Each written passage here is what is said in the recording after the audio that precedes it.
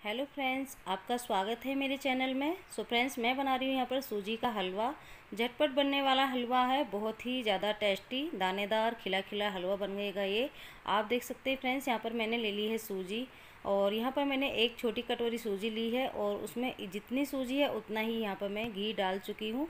आप देख सकते हैं फ्रेंड्स यहाँ पर मैंने ले लिए हैं कुछ ड्राई फ्रूट्स जिसमें है काजू बादाम और किशमिश। आप अपनी इच्छा के अनुसार ड्राई फ्रूट्स ले सकते हैं इसमें नारियल का यूज़ भी कर सकते हैं। फ्रेंड्स आप देख सकते हैं यहाँ पर ड्राई फ्रूट्स को मैंने बारीक बारीक चॉप कर लिया है। आप इसे आ, मतलब बारीक पीस भी सकते हैं और इसको कद्दूकस भी कर सकते हैं। मैंने यहाँ पर इसको चाकू की सहायता से बारीक बारीक चॉप कर लिया है।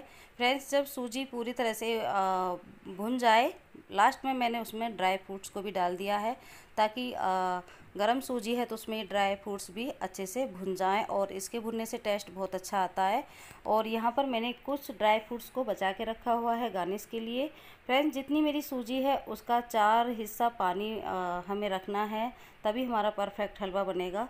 यहाँ पर पानी मैंने रख दिया है पानी में बॉयल आ गया है तो मैंने इलायची पाउडर डाल दिया है।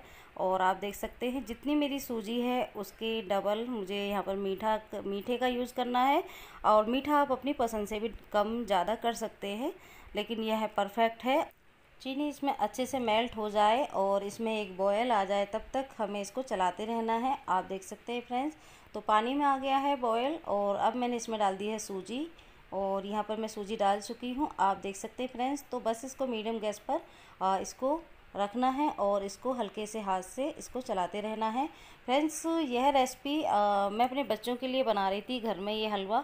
मैंने सोचा ये आपके साथ भी शेयर करती हूँ। तो फ्रेंड्स आप देख सकते हैं यहाँ पर ये हलवा मेरा थोड़ा सा गाढ़ा हो रहा है और आप देख सकते हैं यह एकदम से खिला खिला ये हलवा बन रहा है। और देख सकते हैं कितना आ, कलर भी कितना अच्छा लग रहा है। तो इस तरह का हलवा हमें तो बहुत पसंद है। यदि ये आपको पसंद आए तो प्लीज़ कमेंट बॉक्स में कमेंट करके ज़रूर बताइएगा। एकदम से खिला खिला दानेदार हलवा बन करके हो गया है तैयार।